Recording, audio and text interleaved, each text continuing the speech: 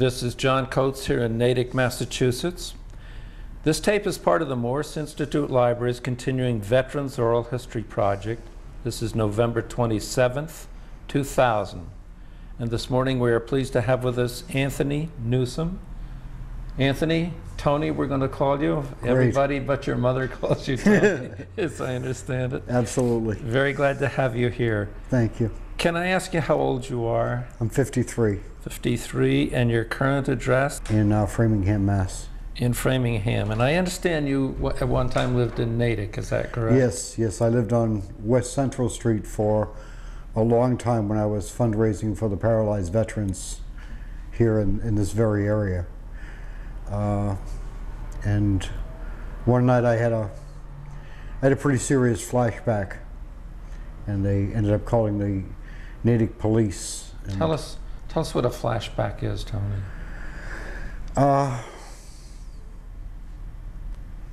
it's it's hard it's hard to relate that. It's when your mind goes back to a time when when you were in combat, and although you can you can physically see that, that it's not there, there's nothing you can do to change the fact that you're there, that you're back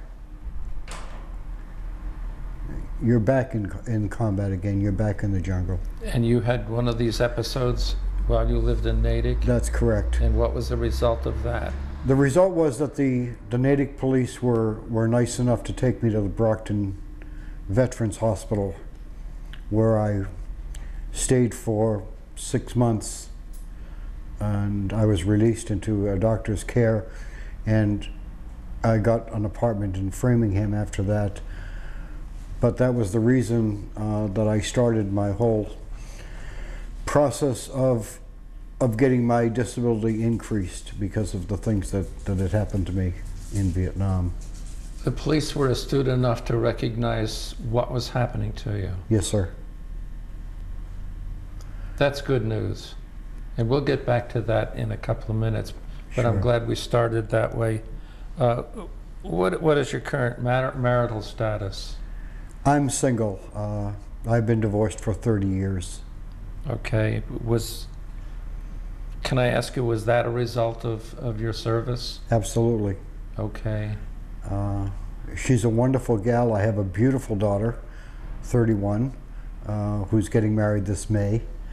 Good, Uh, good. my, my former wife and I have always been friends, but I was very immature, very hostile, and very aggressive when I first got out of the Corps, and that's when we were married.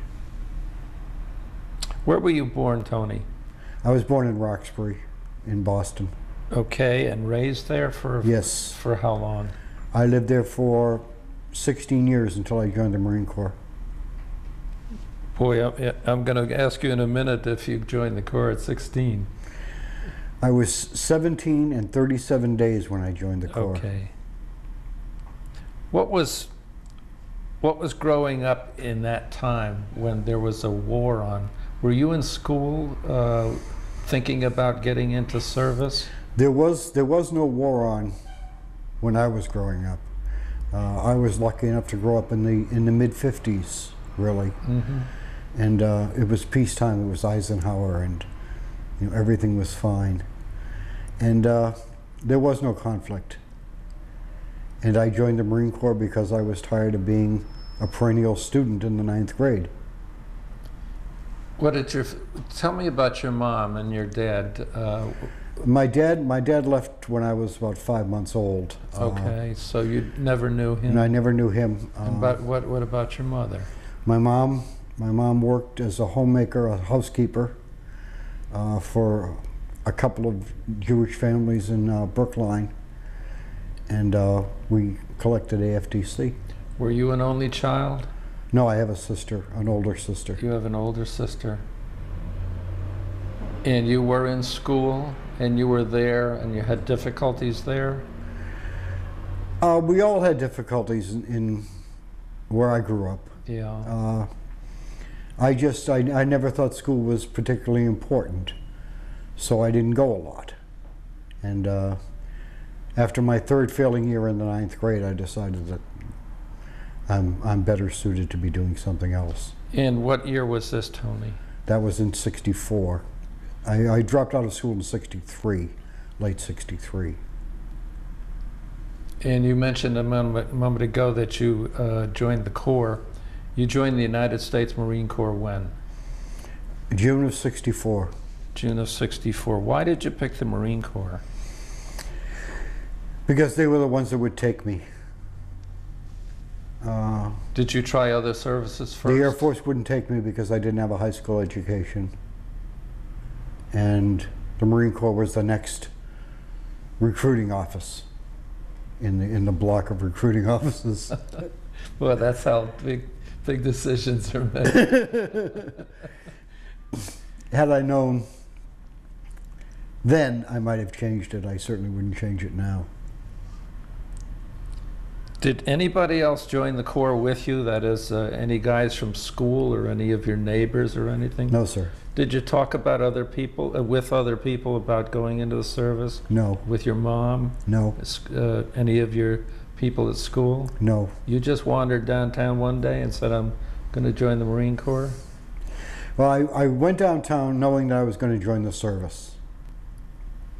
Uh, and I didn't particularly care which service. But I had to get out of Roxbury. And my only way of getting out of Roxbury, I felt, was to join the service. And let's see, this is June of 64. You joined the United States Marine Corps. Did they send you to Parris Island? Yes. Uh, Want to tell us about that place? It's the uh, it's the toughest 13 weeks you'll ever have in your life. And, and you were there in full midsummer. Yes, sir. What was it like? Did you get off the train and took took the barge over, or the train took you to Port Royal or Yemassee? I got I got off the train in Yemassee, South Carolina, and I was a kid from the streets in Roxbury. I had on my spade shoes and my tight black pants and my little stingy brim tie And the DIs were glad to see you. and a Camel cigarette hanging out of my mouth. And the DI came over and just whacked the cigarette out of my mouth and told me, you know, you'll smoke when I tell you. And I just, I knew that we weren't in Kansas anymore.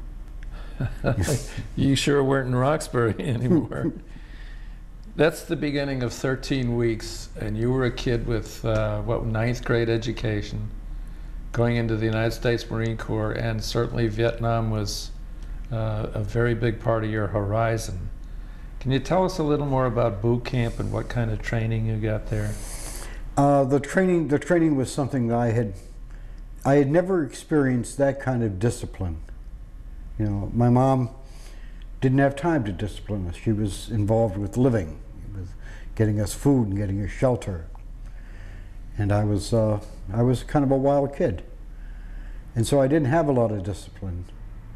And when I got there, I was, I was shell shocked because there's, there's no way that you did you get through boot camp at Parris Island without being a changed person?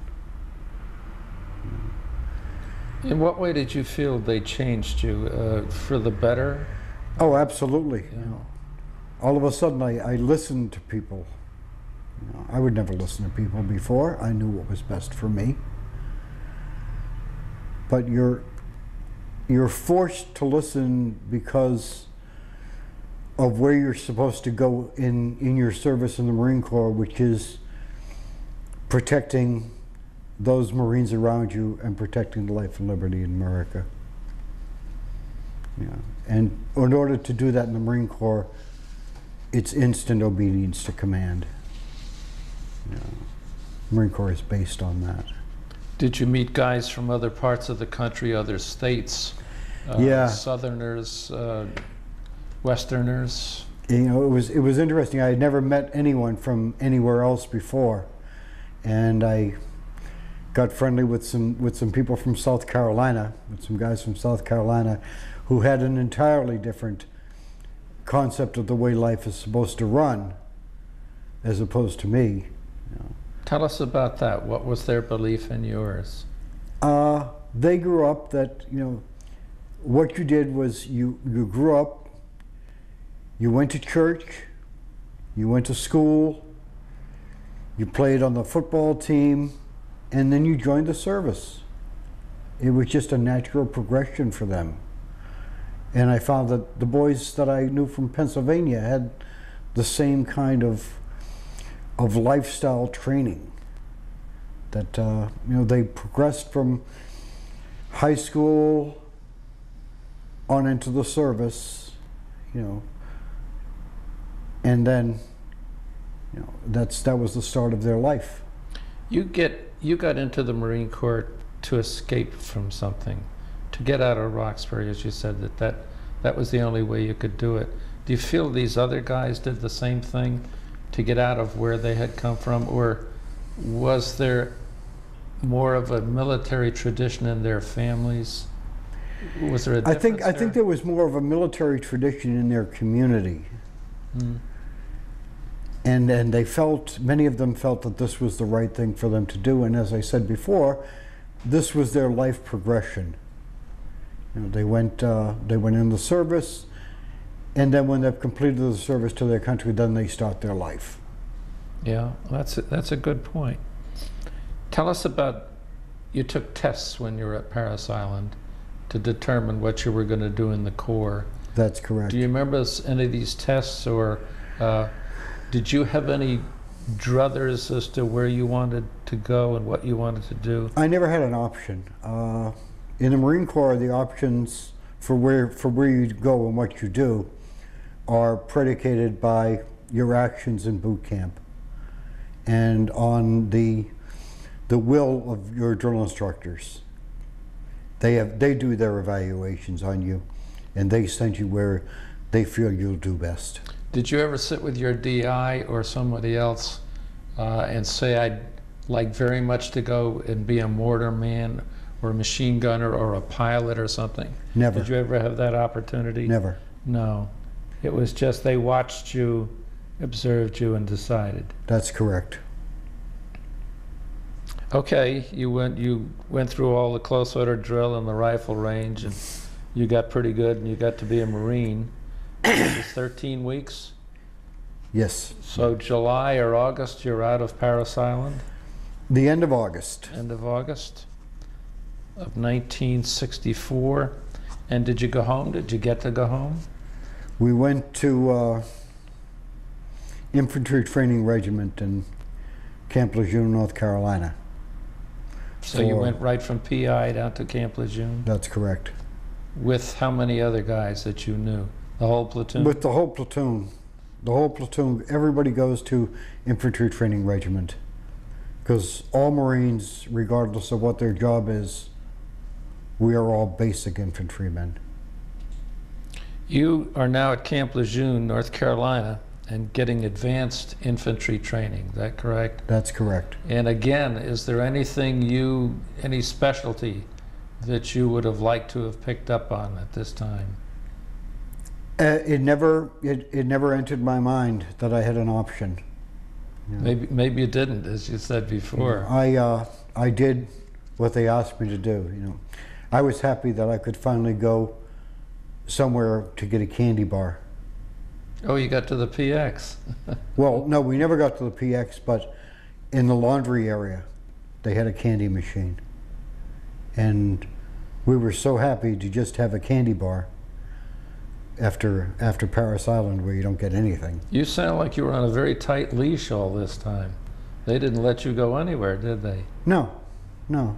And did they talk about, um, did they talk about going to Vietnam? Is, was this the, It was never an issue. it- that, that was it? It was never brought up. Most of us didn't even know there was a Vietnam. Okay, and how long were you at, at Lejeune? I was at Lejeune for 30 days. Another 30 days. You're coming up to September of 64. That's correct. And What happened? Did you fall out one morning and they announced that uh, you were going to get on an airplane or a boat? or No, no, after, after infantry training regiment at Camp Lejeune, we got 30 days leave. Good. We got to go home for 30 days. Uh, and then we were told where our next duty station was and where we had to report. So you came home to see your mother That's and your sister Yeah. and people from uh, your old neighborhood, Uh-huh. you know, all dressed up in your new spiffy Marine uniform. That must have been a very a proud sight. moment for you. I was a sight. Yeah, a good-looking Marine. Okay, and what did they tell you about when you came back from leave? They said we're going to uh, the third Marine, the first Marine Division in Camp Pendleton, California, for advanced infantry training. And we all got on a C-130 and flew to California, From where? Out of Cherry Point or out where? of Cherry Point, Yeah. North Carolina. We had to report back to Camp Lejeune. It was actually Camp Geiger. And uh, Roy Geiger. we were all Geiger Tigers. Yeah. And uh, then we got transported to Cherry Point and put on the C-130 and flown to uh, California. How many guys were uh, in the plane with you? You know, 100, 240. 240 people? And you landed where? We landed at El Toro El Toro Marine Air Station. in Santa Ana. Yeah. And And now, we- now you're in the big leagues because you're in the, the premier division of the United States Marine Corps, which must have made you feel pretty good. And you're getting a really advanced infantry training, and you're on the edge of the Pacific Ocean. So you knew you were about to go someplace. We knew we knew we were going overseas. We knew we were going to Asia. Uh, we presumed that we were going to Okinawa, which is ultimately where we ended up. Uh, but again, there was no there was no thought of conflict. There was no talk about it even. We never we never thought that. Many of us never thought. I don't know who did think that we were going to to war.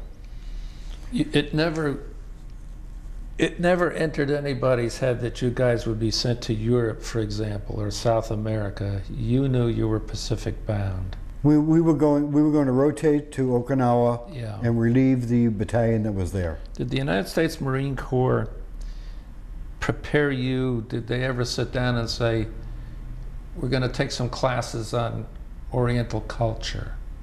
Or this is how the people of Vietnam live, or the people of Japan live? Did you ever get anything like that? No, no. Uh, We uh, we had our culture, and we weren't particularly concerned with with the people on Okinawa, particularly the people in Okinawa, because they had been hosts to Marine battalions since World War II.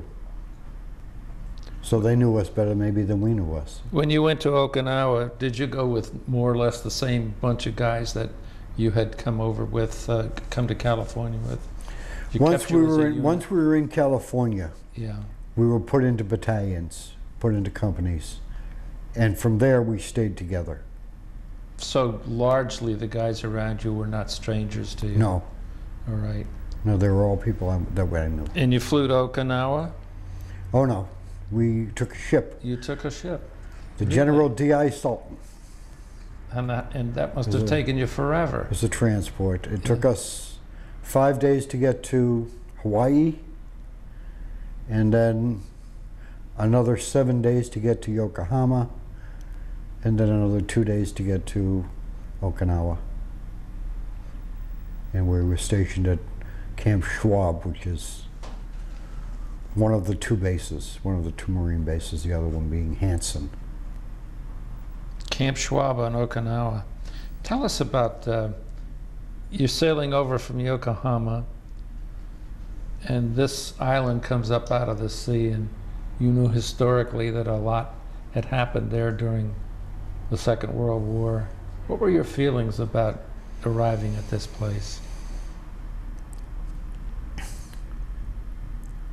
I was I was finally I was finally being filled with the Marine Corps tradition. We got a lot of that on the ship going over. You know, we spent uh, we spent endless time talking with the older with the older men, the guys that had been in in some of the conflicts back then, which were like Beirut, which was a big Marine conflict for us. Uh, there were and there were a few people that were still left over from the Korean conflict. But nobody from WW2? There were there were no World No. War II veterans then. I guess not. I guess they're a little old. That was 45, and you're now in uh, almost up to 65. 20 years uh, previous, no, they wouldn't be around. No, we just uh, we just missed them. But we had uh, we had some guys from the Korean conflict. Uh, What did they tell you? You talked about installation of Marine Corps history and the the the background of the unit you were in. What did they talk to you about? we were we were taking over. We were changing flags with the Third Battalion, Third Marines on Okinawa, and we were we had been told what a historically brave unit the 3rd Battalion, 3rd Marines were. All of their conflicts through Guadalcanal and Tarawa and Okinawa. And although these were these were pretty much just words to just places to a lot of us because a lot of the men were, were like me were not very educated. But we knew you know that the tradition of the Marine Corps had carried the 3rd Battalion to to great victories and we were now a part of that So Guadalcanal or Tarawa or places like that, it was more of a concept than a reality, but something that you, through these guys, began to feel that you were part of something really special. you know all of a sudden the John Wayne movie The Sands of Iwo Jima became the most important flick in the world know. That's very well said. Very good. You know, Okay. Tell me what you did on Okinawa. We uh, we did a lot of training. We did a lot of training, uh, both in amphibious assault, which is coming in off off a ship, either on a helicopter into a landing zone, or coming in on a uh, on a landing platform ship on LPH, and uh, we were just we were taught the ways in which you secure a beach and how, how you're supposed to handle yourself and what your responsibilities are to the people around you. You'd been in the Corps, uh, what, not yet six months? Is that right? Just about six months at that point. And at this point, was was um, was your career kind of set that you knew what kind of weapon was uh, what did you have at this time? I carried uh, I carried an M14 Yeah.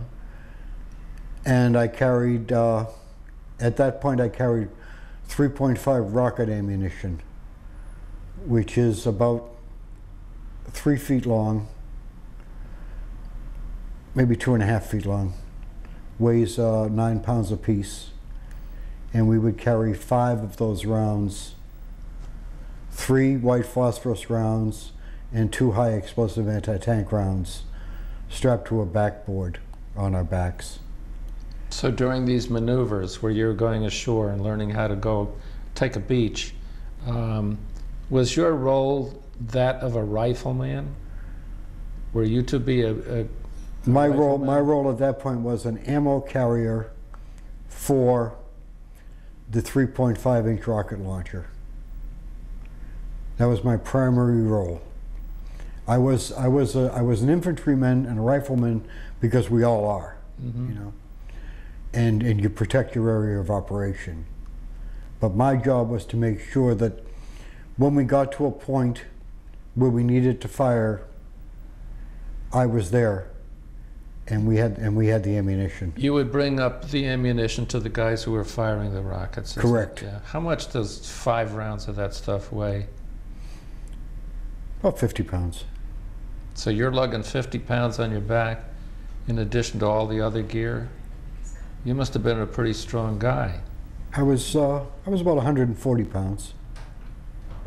I was uh, I wasn't particularly strong, but I was particularly dedicated. I'll say. I guess I'm going to ask you uh, again about Vietnam. Is- Was this any part of your future now or closer? That None, None. none. We had no idea. Okay. We had we had no idea, and it was now. It's now February, of, of 65. 65. and we have no idea. Did you hear from home? Did you hear from your family? Anybody back in Roxbury? Oh, nothing, nothing about that. There was that No, there no, was a no. I conflict mean, did, going were- on. was there any contact Oh with yeah. your oh, family? Oh, mom. You get you get mail call and I got things I got that? mail and I got brownies from home. Mom would always send brownies. Go, what was going on around you on Okinawa? There's all kinds of military bases, um, a great deal of activity. Did you see ships of the Navy? Did you see uh, airplanes over your head? What was it like? We did. We were so cloistered. We were at the far end of the island, Which end? Northern end toward Japan? the southern end. Southern end? Okay. Uh, we were far away from from Hansen, which was really the base of activity, uh, where the planes come in and all that. Uh, we were involved in amphibious assault, and that was what we were being trained to do. Uh, then they took us to the northern training area of Okinawa, in the NTA, uh, which is steep hills and deep gullies and jungle. And that's where you earned your stripe. Were you still a private at this time? Were you? I was you a PFC You at got it. point. You did get a stripe there. All right. How long did you stay uh, doing this at Okinawa? We were there, I was there until early March Of of 1965. and then- 65. Then, did your life change significantly? What happened? Well, what happened was I got, I got shot in the eye by a blank, a blank cartridge, uh, when we were assaulting a machine gun position. And my eye was burned. And they sent me to a forward advance party to Mount Fuji in Japan to get our battalion area squared away for cold weather training, which was the next thing on our agenda as far as training went. And so I was sent to Mount Fuji for 45 days waiting for the battalion, uh, getting the tents set up, getting the fuel supply ready, those kinds of things. You were part of the advance party. I was the advance party. Up, yeah. And you were in Japan now. Yes, yes. What did you think of that? I thought it was very strange. I thought it was a very strange place. Uh, the people,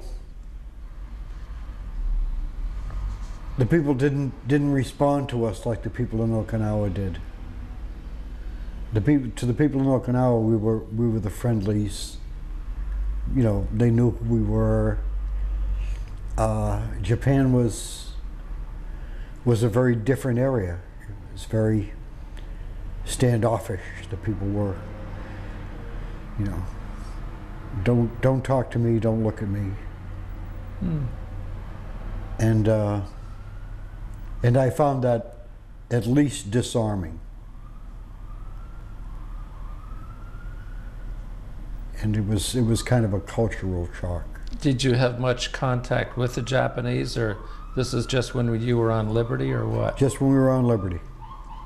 Just when we were on Liberty, we uh, we'd get a couple of uh, a couple of nights off every week, and we'd be able to take a Scotia cab, which is a small cab, into uh, the next city, which was uh, Gotemba. And the four of us, I had, I had good friends then, and we'd go to the same bar, sit in the same booth, sit with the same bar girls, drink the same liquor. Yeah, and uh, and it was fine. It was our own little little place. But walking walking up the street to go to the bar was strange, and that, and that people would just kind of look at you like, you know, what are you doing here? How, would you describe this as uh, hostility? It wasn't. It wasn't so much hostility. I don't think as it was. You know, we don't want you here. They weren't being hostile. They were just being protective Of their territory? of their territory. Exactly. Themselves, yeah. After 45 days, did your uh, the rest of your outfit catch up with you? After 45 days, I received notice to report back to the unit, On Okinawa, supposedly on Okinawa, yeah. that we were uh, we were being put on float, which means the battalion is now in a ready position. I was flown by helicopter from Fort Hansen on Okinawa to the LPH Iwo Jima in the uh, South China Sea, where my battalion was. And we were on float, and that was the first time I had ever heard the word Vietnam. Was when I was on that ship. What did you hear about Vietnam? I heard that we were going to a place called Vietnam. And there might be some action, there might not be some action. But we were going there to secure an area because the Navy wanted to build a uh, small jump airstrip there. And that was July. And uh, Was this part of a briefing from your officers, or was this scuttlebutt? How did you hear about this? I heard, I heard about it at, at Cal first, you know, at Scuttlebutt first, and then, you know, the Marine Corps chain of command. The officers talked to the officers, the officers then talked to the senior NCOs, the senior NCOs talked to the corporals, and the corporals talked to us. And they say, here, now hear this, and you're going to Vietnam. Did you sail over to Vietnam, I take it? We sailed, we Yeah. sailed on the, uh, on the landing platform helicopter ship Iwo Jima with a, with three squadrons of helicopters and our battalion. You used it as a ferry, uh, just a place to, uh, a, a way to get there. Exactly. You didn't serve anything on the ship? Nope, on all we did was duty? run laps on the deck. Okay. the Iwo Jima, huh? That's a very famous name in the uh, 1st Marine Division or the Marine Corps. Tell us about arrival at uh, Vietnam.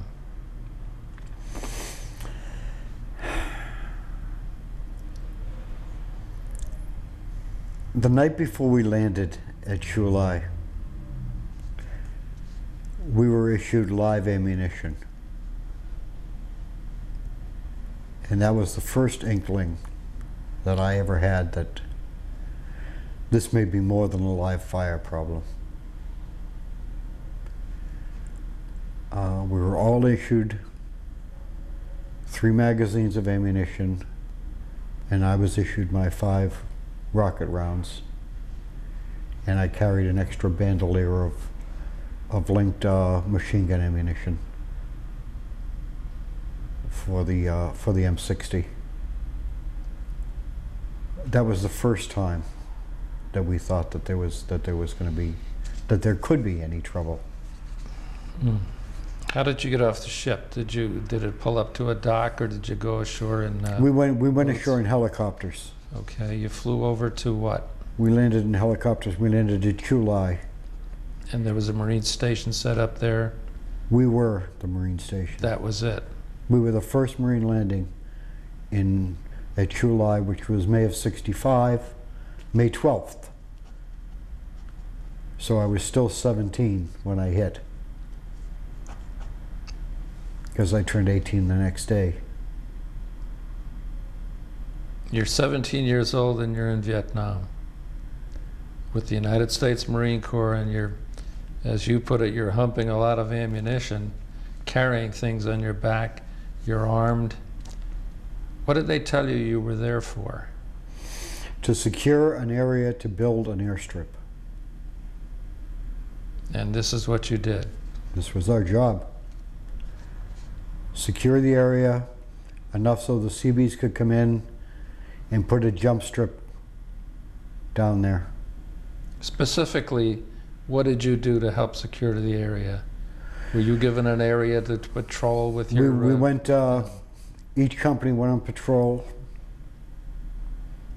maybe every other day. Each company had ambushes almost every day.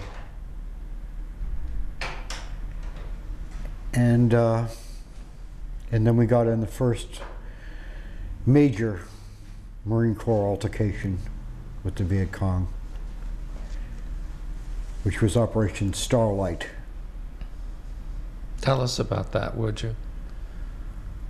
We had we had gone over to the Van Tuong Peninsula, which was right next to Chulai, on patrol the day before. We being Kilo Company, my company. We came back and we saw nothing.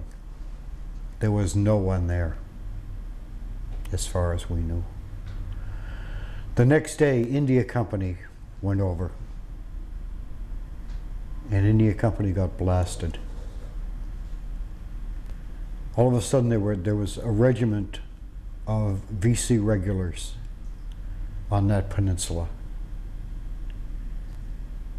And we had to bring the whole battalion to bear on them. It was, uh, it was called Operation Starlight.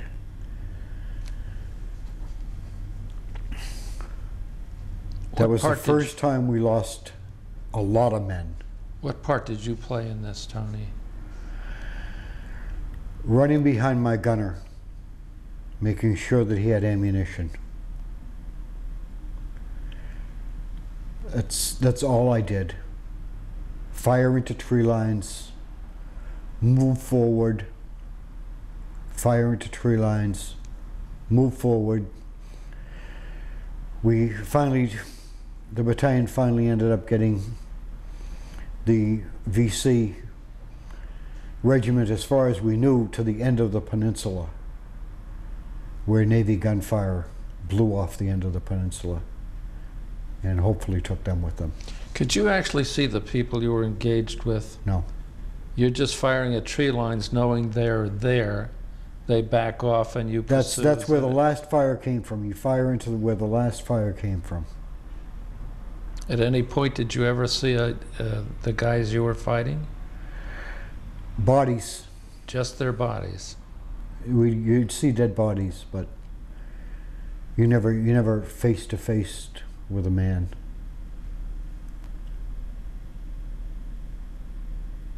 You spoke of running behind your gunner.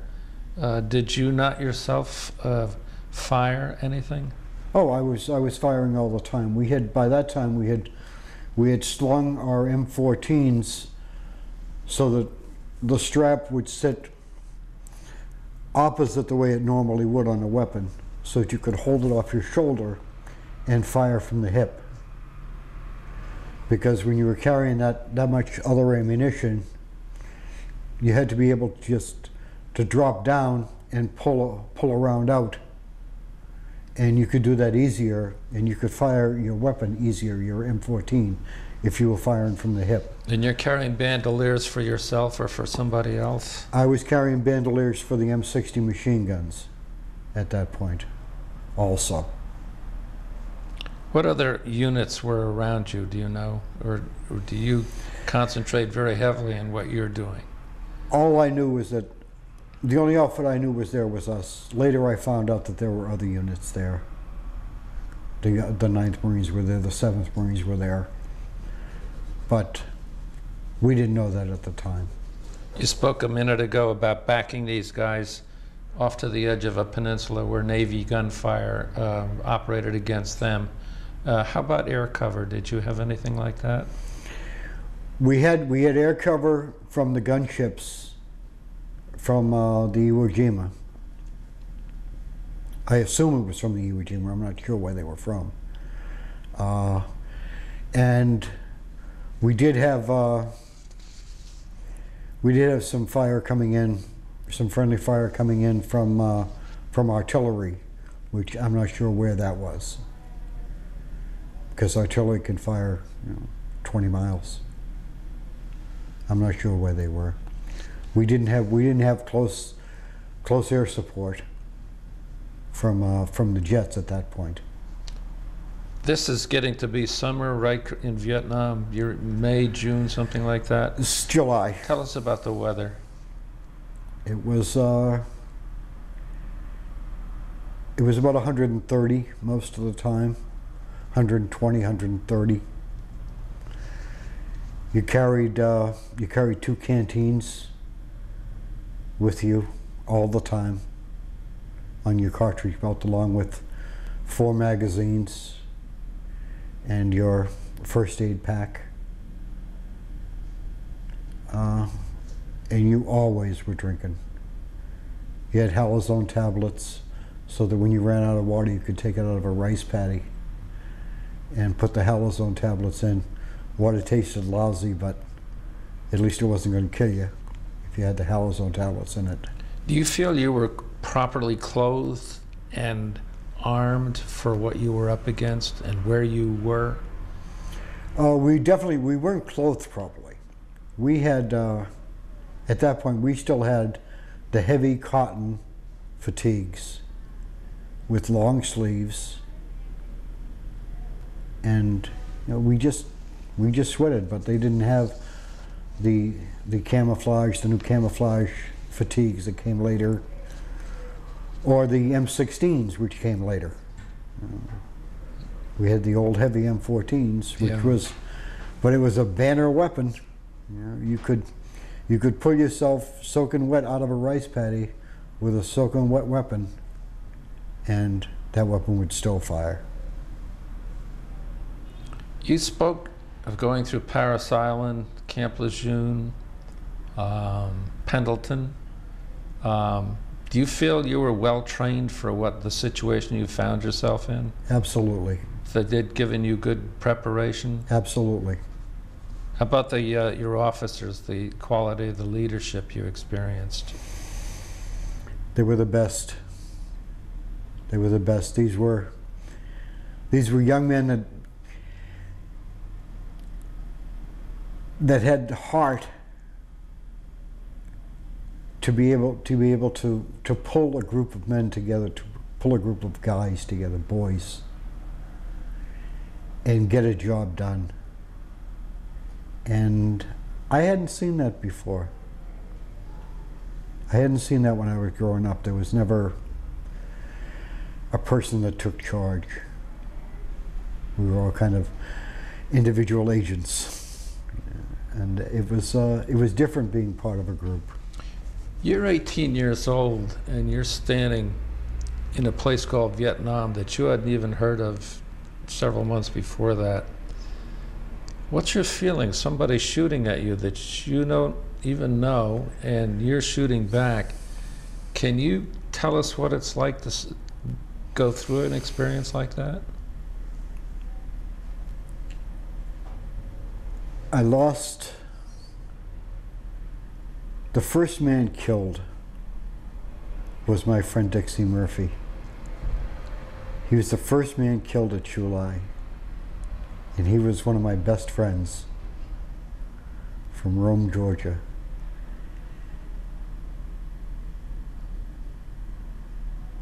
And all of a sudden, this is for real. I had heard that people got killed up around Da Nang. I had heard that people got killed down south, down in down around Saigon. When Dixie died, our unit our unit became a real Marine fighting unit and knew that we were in it for the haul now.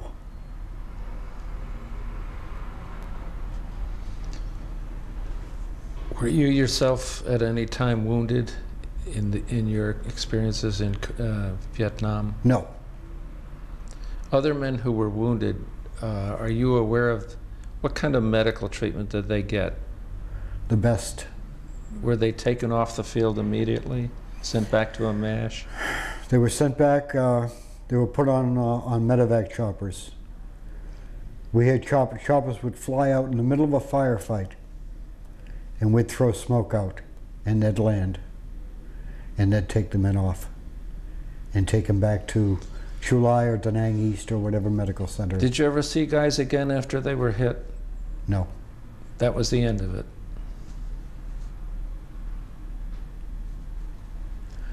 How much of this did you personally go through, Tony? Does this go on endlessly, one engagement after another? we were we were in in combat pretty much the whole time I was there. And how long was that? That was ten months. So every day was pretty much like the day before. If every if every day if you weren't fighting every day, there was always the chance that you could be fighting every day. And it was always in your head, you know. Because we went on patrols every day after that. Once once we got in in a position where we needed to really defend our position and we had an enemy, everything shifted into high gear. You went on sweeping clears every day. You went on ambushes every night. And you went on patrols. And you swept through villages. And you might not get hit every time you crossed a rice paddy. But you got hit often enough so that it was always there. You mean fired upon? Exactly. I'm not sure what to ask you here, except that I simply cannot imagine if you're out at night getting fired at and, and afraid and being threatened, and you go through it all day long. Does it occur to you that you're never going to get out of here? Never. What made you think you were going to get out of there? You never thought about it. You saw it around you and you knew it existed, but it, it wasn't a reality for me. Can you explain that? It, it sounds like um, a massive denial of your situation. I never, I never really had time to think about it. We never had time to think about it. I'm sure guys did. You know, there were some, there were some older sergeants walking around with big black circles under their eyes. You know, they knew what it was about. But you know, we were 18. We were immortal. Yeah, that's right. When you went into this situation, uh, was the rule in effect that you'd be out of there in a year? Or was there any end line for you? There was the end. Of, there was the end of your of your 13 month tour when they rotated you back, and you knew that from Camp Pendleton. You know that the Third Battalion, Third Marines, was going to be in Okinawa in the Far East for 13 months. So you knew at the end of that 13 months you were coming home. Oh, so your Okinawa time also counted on your exactly. rotations? Okay. Exactly. That's why we we didn't do the full 13 in Vietnam. Let's put that question in another light then. Did you look forward to the end of that 13 months? Did you know that sometime this was going to end? It's called getting short, Yeah. and it happens Nobody to wants to everybody. get shot then. You know, you, you get short and then you're counting days. You know, I got uh, I've got two months and a wake up. You know, I've got I've got 30 days and a wake up. I've got two weeks and a wake up. You know, and you know when you wake up, you're going home. You're going back to the world. You said you were there 10 months. Uh, is that totally in, in Vietnam? That's on float going there and, and there. I was there from May of 65 to February 6th of 66. What happened on February 5th that you got out of there? February 5th, we were on patrol. February 5th, we were in an area south of Da Nang doing sweeps, sitting in ambush that night. February 6th came. Commander came down. Lieutenant said, roll it up. Get your gear together. Get on the mule. A flatbed, four-wheel drive vehicle. You're going home. That was February 6th. I got on the aircraft that night. We were still eating C rations. We flew from Da Nang to Guam to Hickam in Hawaii to El Toro and got off the plane. It was Friday night. And I was back in the States. And I still had I still had Vietnam under my fingernails. That's a pretty abrupt transition. While you were there and caught up right in the middle of this whole thing, did you feel you were in a huge war or was the whole thing within 50 feet of you? That's all you worried about. Did you know what was going down in Saigon? Did you know what was going on north of you or west of you?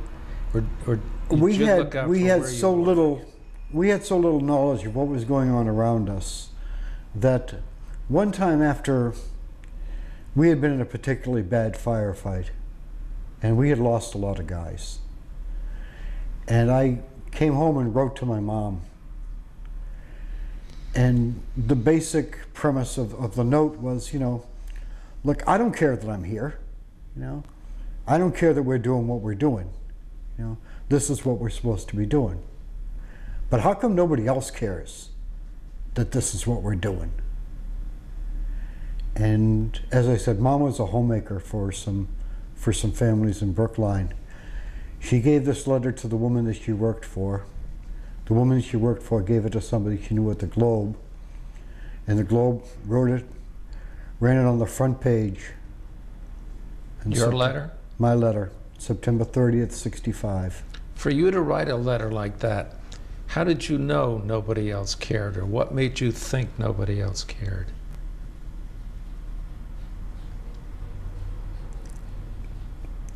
You never got news from home. Like Starlight was a big battle. It was a big Marine battle for us. It was a big victory for us. We never heard anything about it.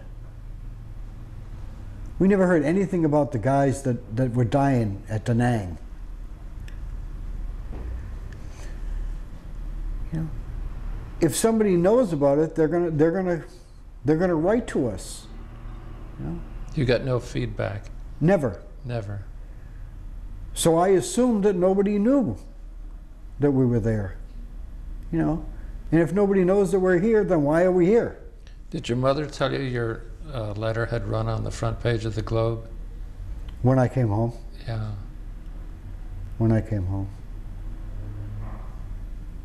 Uh, when I came home, you know, I got I got letters from from other people, from people I had gone to to grade school with, and stuff. You know. What happened after you got home?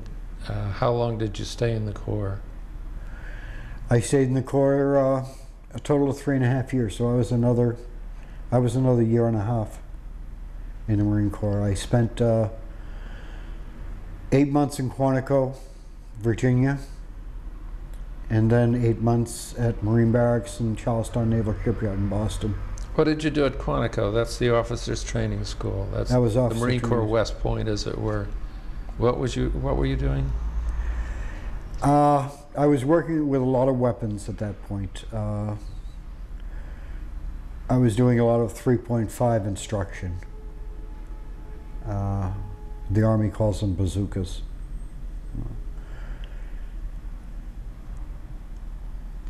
Washing dishes, cleaning weapons. Being a Marine. It was, it was life goes on, Yeah. you know. And then you went to the Charlestown Navy Yard. Yes. And what did you do there? I was a gate guard. I was a gate guard. I had to. I had to. Uh, I had to advance my enlistment. I had to uh, volunteer for an extra three months duty to, to come uh, to come back home. But my buddy Joe was up here as a sergeant, and Mm. And uh, he's a hero. When you were back in, in the States winding down your career, you knew you were going to get out pretty soon, I assume. Uh, was the Vietnam War still in effect, or Oh yeah. Oh. all right? What did you hear about it, and what did you think about it? We heard everything about it because we had people in and out all the time. They were either going there or coming from there. So you had good first-hand communications. Oh, sure. Yeah. Oh, sure. What did you think about the protests against the war, or um, any part of the American psyche at that time? Didn't think. Didn't think much about it. Uh, there wasn't. There wasn't a lot going on at that point. Uh, Sixty-seven. There wasn't. There wasn't a lot of. There wasn't a lot of interest in it one way or the other. You know. Uh, it's it's over there, and Yeah. you know, in 68, 69, 70, But when people started becoming aware, it was a different structure. you you got out in in what year, Tony? December of 67. December of '67. Tell us about uh, your last day in the Corps. I I had come out of uh, Charlestown, the Chelsea Naval Hospital. I had been there for for quite some time. I had been in a, in a car wreck with another fellow. In a car wreck? in a car wreck. Uh, we both got Great. promoted, both got promoted the same the same time, and we decided we were going to Rockingham And celebrate. and celebrate. And uh, So now you're a corporal, Lance Corporal, Lance Corporal. Good for you. and uh, he was a corporal. Denny Soccorso from uh, East Boston, and Denny was driving 58 Ford. We were going up uh, 91, 93, and uh, hit the brick abutment at Dascomb Road and went through it and fell down that 30, 40 feet into the roadway below and got hit by another car and Denny got killed. And I was comatose in the hospital for a long time. And uh, my mom was living in Revere then. And she would work all day and then take the bus to Chelsea and then walk up that long hill Yeah. up to the Naval Hospital every single night. Finally, one of her friends went with her, one of the other neighborhood mothers, and they got to the bottom of the hill, and the other mother looked at my mother and said, You walk up this every day? What are you, crazy? And she stuck out her thumb, and of course, the first car that pulled by stopped and picked him up and drove him up there. You know? Never occurred to my mother to do that. To hitchhike. You know, never occurred to her. Uh, I got out. I went home. I went to Revere. My mom had moved to Revere at that point. And uh, sat down on the bed and what do I do now? You feel pretty much alone, don't you?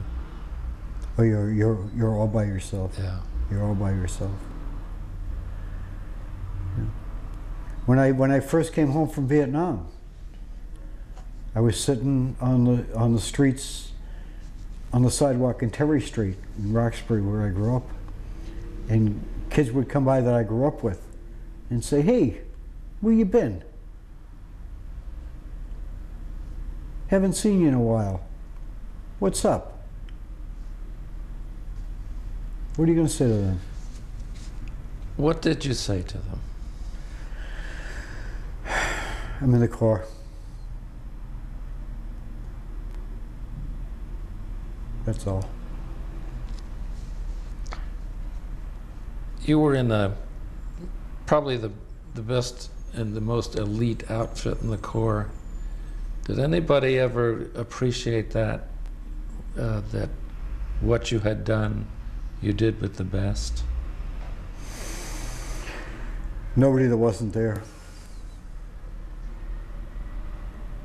People didn't know. Okay, you were out of the Marine Corps. Uh, it's this December '67. Is that right? Yes, sir. What did you do then? What did you do with your life? I I couldn't see because I had been hit. Uh, I hit my head during the accident, and I had double vision.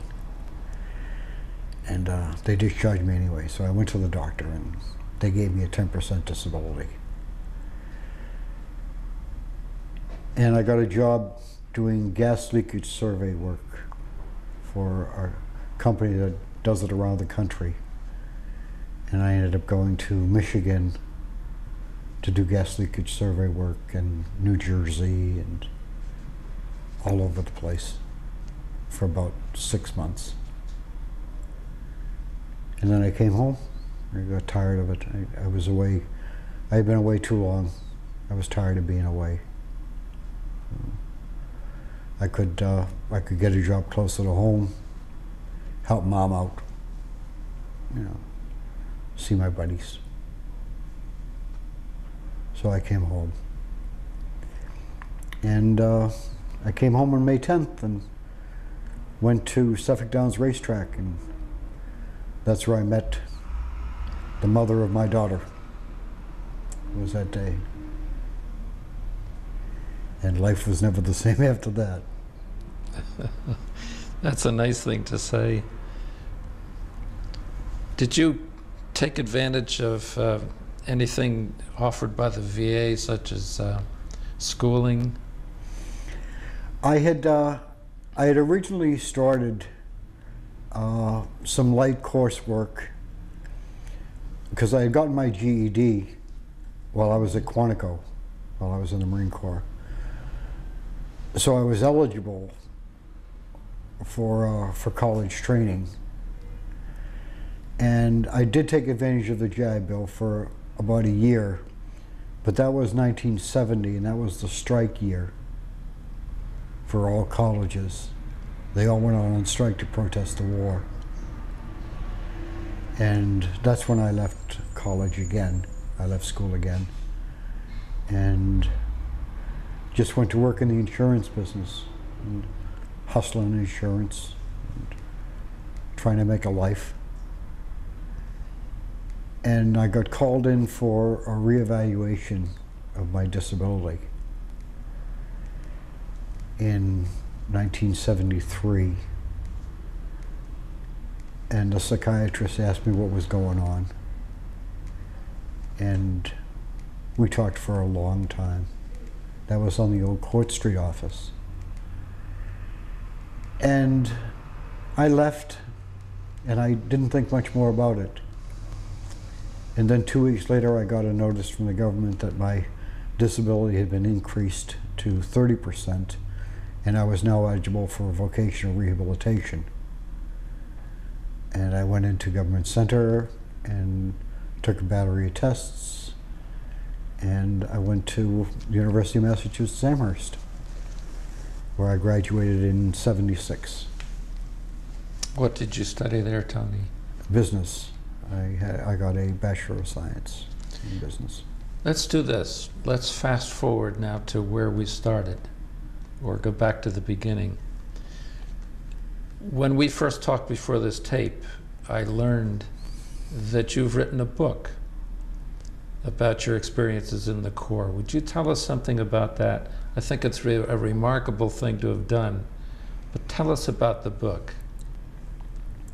It's uh, it's a compilation of 14 short stories, uh, and these these aren't stories that I heard from somebody else. These are stories that either I was there, and I was the one it was happening to, or it happened to one of my best friends, and I know it because I know I found out how he died or how they died. Tell us the name of the book. The name of the book is My Private Vietnam 14 Short Stories by a Marine Ammo Humper. A Marine Ammo Humper. That's wonderful. That's what I, that was my job. Tell us one of these stories. Any one.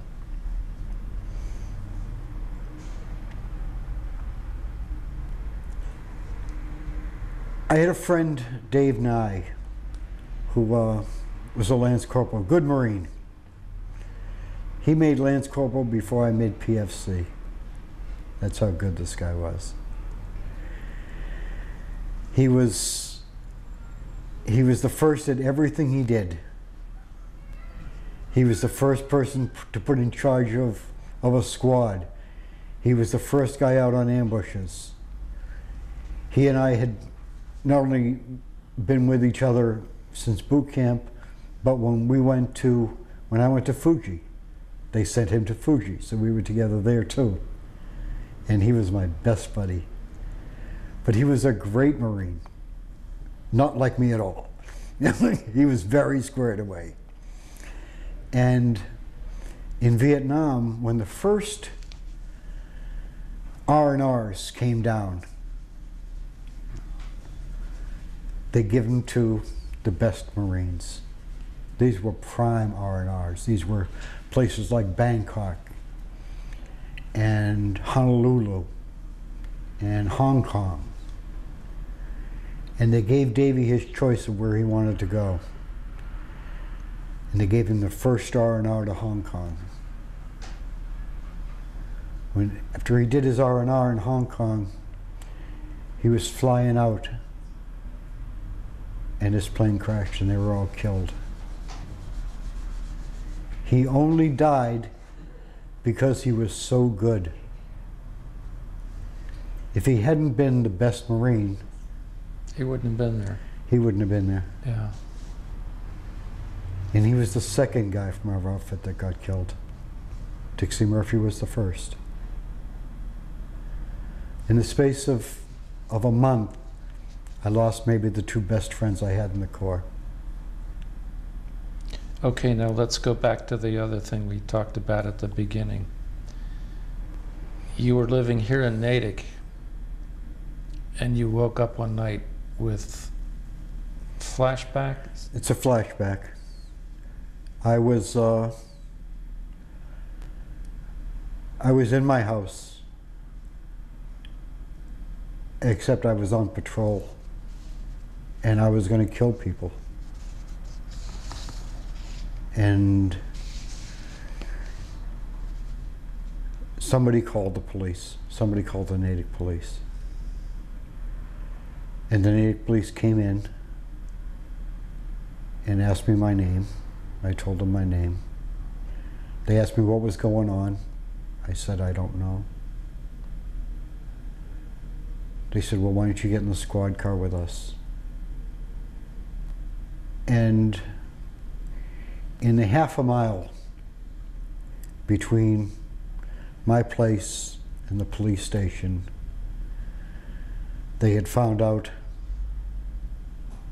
that I was a former Marine, that I was disabled, that I was having a flashback right then, and they found out where to take me. And they took me to Brockton and they put me up on a locked ward up in Brockton. Did either of these cops um, understand immediately a flashback? I think they did. I think they did. So had, do you know if they'd been in the service? More than likely. Yeah. I More asked than you, likely. I asked you earlier if you'd been wounded in battle, and you said no. Can you look at it from another perspective that um, years later you wake up in a house in Natick and you think you're in Vietnam or in a terrible situation? In a sense, you were wounded, weren't you? We all were. We all were. There wasn't a Marine that went to Vietnam that didn't come back living everything he did over there Yeah. every day. You know? And and it doesn't it's not constant. It's not a constant thing every day. But at one point during every day of your life, you think about what happened. It may be only only an instant. You remember someone's name or you remember a bush or something. A hole. The French bunker at the north end of Da Nang airstrip. But it's every single day. Do you meet with guys? Uh, do you have reunions from your outfit? My outfits have reunions. Do you go to them? I don't go. Do you talk to people who uh, have gone through the same things you've gone through? No. I don't read books on, on Vietnam. I don't see movies on Vietnam. I won't watch television programs. Uh, I just I can't do it. I just can't do it.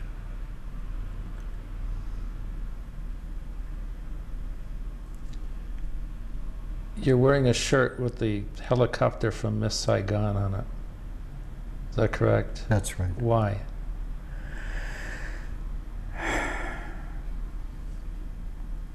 It was given to me by a dear friend of mine who helped me write the book. And she had gone to see the play and brought this back for me.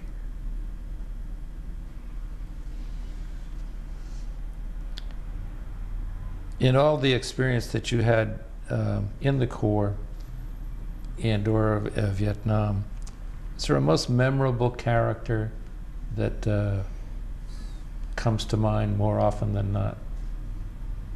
Sure, sure. My sergeant, And who was he? Sergeant Irving Chakaratis. Chekaratis? Chakaratis, a big Greek guy with an enormous handlebar mustache. Uh, a veteran of Beirut. The guts of the Corps.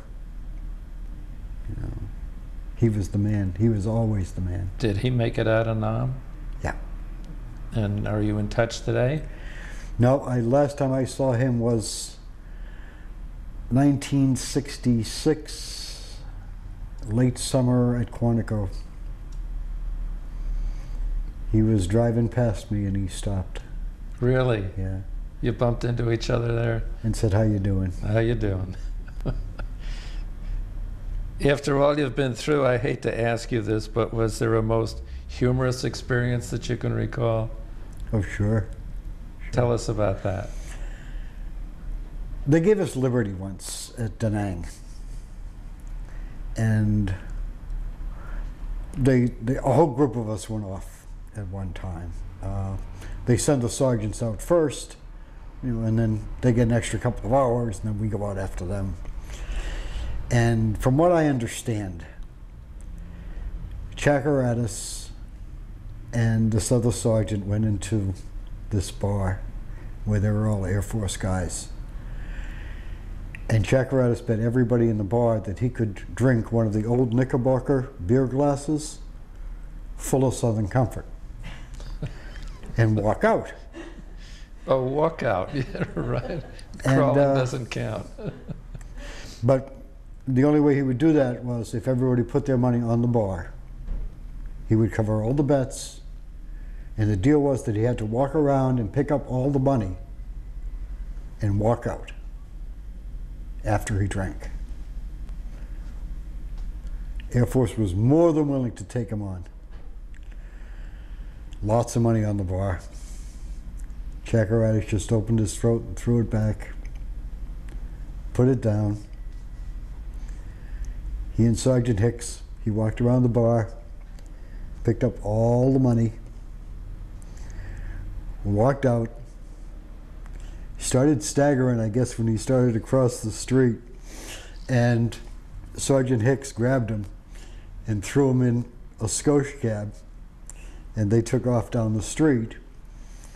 And that was the end of that, except Corporal Murphy and Lance Corporal Manyhawks went into the same bar about an hour later and said, We'll bet anybody here we can drink a Knickerbocker glass Right. full of Southern Comfort. And the MPs brought them back to the base, and Right. Manyhawks just went to sleep, but Murphy had to go get his eye fixed. the Air Force, he just tore into them. Yeah, I- I suspect they were not too well received. When and where were you discharged? I forgot to ask you that. Uh, Charlestown Naval Shipyard. Okay, and what was the date? December 8th, December 8th. 1967. And with what rank and, uh, Lance Corporal. and decor medals that you'd gotten? Navy Commendation. Uh, good conduct, Vietnamese service, Armed Forces Expeditionary. That's it. That's, that's more than enough. Did you join any, any reserve unit when you came home, or have you had it with No. the, the Corps? Did you join any veterans organizations? Are you a member of one now? I'm a member of a lot of them now. Uh, the 3rd Marine Division Association. I'm a life member of the DAV. I'm a life member of the 1st Marine Division Association. That's good credentials. That's good to have. They're my guys. Go ahead. They're my guys. They're my guys. Is right. You you you have uh, a good alumni association there. How important to you was serving in the military, Tony? It was the most important thing I've ever done in my life, save for fathering a child. Your daughter. Yeah. When you came home, uh, did you discuss uh, with your family or friends what you had done, what you'd seen in the service? No, And you've not done that with anybody since. no. Why are you here today? I finally came to grips with all that I remember in maybe 97, 96, 97. And uh, these were heroic men.